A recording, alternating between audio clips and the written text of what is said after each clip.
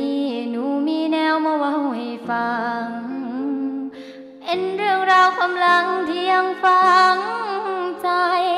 มันเกิดขึ้นตอนที่หนูเรียนมปลาย เป็นสิ่งที่หนูจำได้บอกเคยลืม เมื่อนั้นหนูแอดเฟซบุ๊กผู้บ่าวอันหนึ่งไปบอกบอกดอกว่าเป็นไผเจ้า ลาสิบแปดนาฬิกาเข่งเข่งหนูนั่งจอบนั่งเล่งว่าเขาสิรับแอดบอแล้วเขาก็รับแอดหนูมาดีใจแท้หนอหนูเลยทักแชทไปเนาะว่าเฮ็ดหยังอยู่ เขาก็เลยตอบมาว่ากินเขาอยู่ให้อดใจรอสักครู่กินเขาแล้วสิแชทกลับ ก็รอรอรอจนมาหอดมือนี้ เป็นเวลาสามปีเห็นจะได้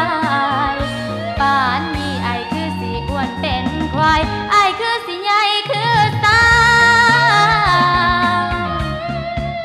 ขันไอสิกินข้าวโดนปานนี้เฮ็ดหน้าจะคงจังสิพอละอายน้องถ้าแชทเจ้าจนโทรศัพท์น้อง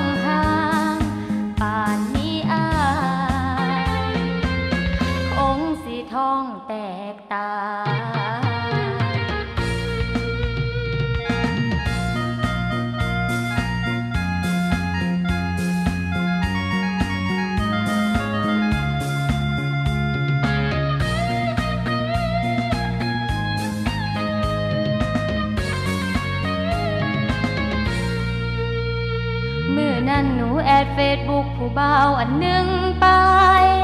บอบอกดอกว่าเป็นไผเจ้าหูเอง เป็นเวลาสิบแปดนาฬิกาเข่งเข่งหนูนั่งจอบนั่งเล่งว่าเขาสิรับแอดบอกแล้วเขาก็รับแอดหนูมาดีใจแท้หนอห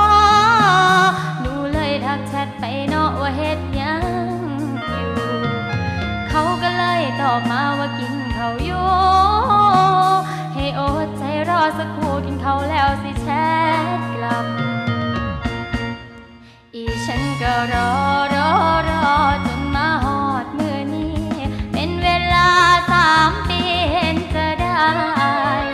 ป่านนี้ไอคือสีอ้วนเป็นควาย ไอคือสีใหญ่คือสาขันอายสิกินข้าวโดนปานนี้เฮ็ดหน้าจะคงจังสิพอละอา